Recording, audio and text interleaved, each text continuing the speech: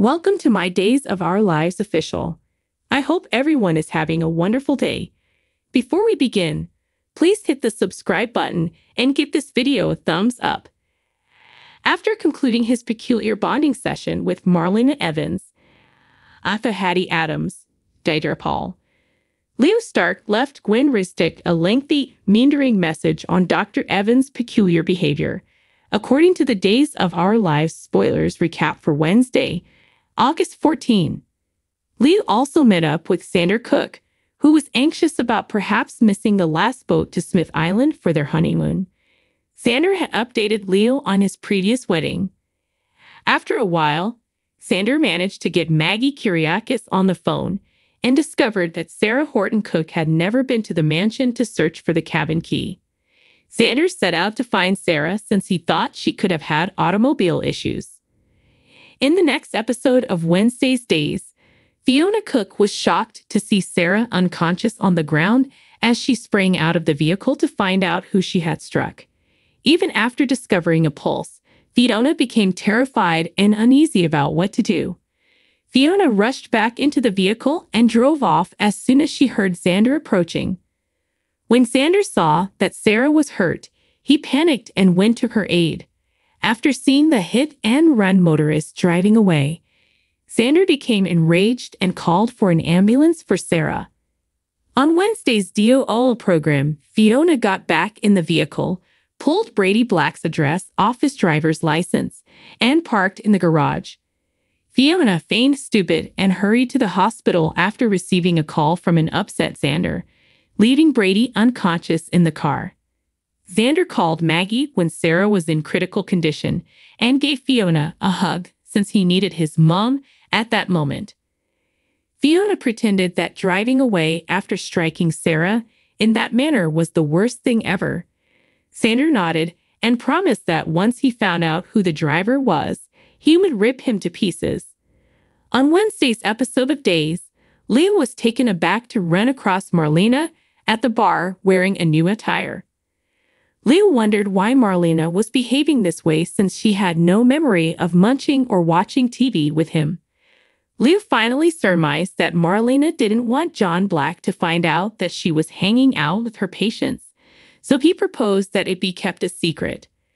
Leo's astonishment increased when he saw Hattie in her typical ostentatious attire on Wednesday's episode of Days, particularly after discovering that Marlena had an upstairs room.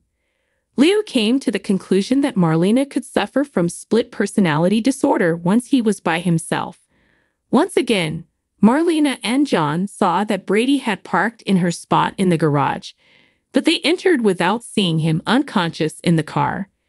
Returning to the hospital, Chad DiMera, Billy Flynn, disclosed that Abigail DiMera, AnnaLynne McCord, was the mystery lady, as her father, Jack Deveraux, Matthew Ashford, was shown to be by the DNA test. Abigail begged Jack to back off as she was still unfamiliar with everyone in Salem, even though he came running for an embrace.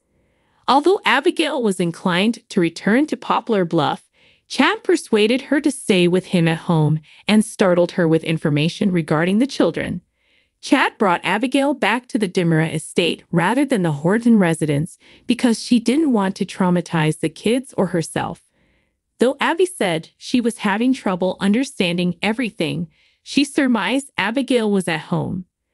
When he got back to Jack, he contacted Jennifer Horton Deveraux and shared the wonderful news that Abigail would be returning. According to spoilers for Days of Our Lives, Abigail will need some time to adjust to life in Salem. Stay tuned for more speculation on how she will handle the next changes. According to the spoilers for Days of Our Lives, Paul Narita withheld information concerning the near death experience he had just before the wedding. But Marlena Evans voiced worries about Brady Black and whether or not he would start drinking again. Paul quickly left to locate his brother after reassuring Marlena that Brady had texted her the previous night about spending the night at the business. Brady had obviously lied to hide yet another drinking spree in Fiona Cook's room, so they continued to joke about and made sure their secret alcohol buddy arrangement would stay that way. On Friday's episode of Days, Sarah Horton persuaded Xander Cook to pay Fiona a visit while she was still in Salem from her home. Xander decided to try make things right since Sarah genuinely wanted Fiona to be at their wedding. Brady was pushed toward the bathroom and forced to flee out the window by Fiona as Xander arrived at her suite's door. When Paul saw Brady hobbling and sporting twigs in his hair, he confessed to have a twisted ankle and made up stories to hide his relapse. Even though Paul was obviously worried, he contacted Marlena and gave her further assurance. Reunited with Sarah for Friday's Dito All episode, she discussed Theresa Donovan accepting accountability for her misdeeds with Maggie Kiriakis. Maggie thought Theresa was really sorry, but she was still upset over the abduction. As they discussed Sarah's preparations for a second wedding and Xander's effort to mend his relationship with Fiona, Sarah gave Maggie a hopeful look. In Friday's episode of Days, Fiona was back in her chamber asking for forgiveness for the past and ultimately opening the door for Xander. Fiona said that by giving Sarah that sob tale, she wasn't attempting to clear her own name. Rather, she was trying to make Xander understand. Xander had doubts about Fiona's admission to the mental health facility and her claims to have turned her life around. But Fiona claimed it was real and she wanted to show to Xander that she was fully devoted to her sobriety today. Fiona looked to be pulling at Xander's heartstrings since she urged him to trust her and showed her affection.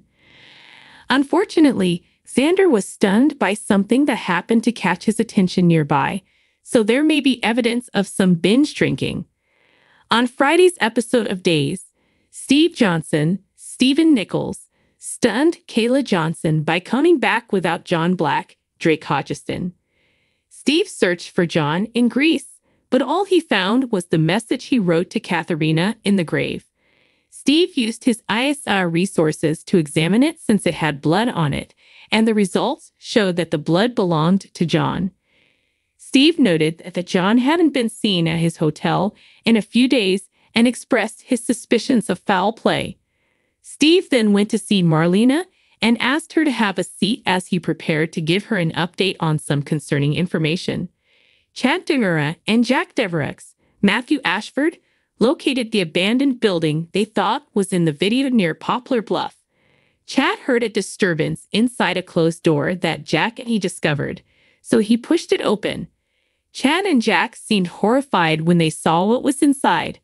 We'll bring you more guesses on the consequences of Jack and Chad's finding since spoilers for Days of Our Lives indicate they'll have a lot on their plates. Thanks for watching if you like this video, so please don't forget to subscribe my channel and don't miss any update.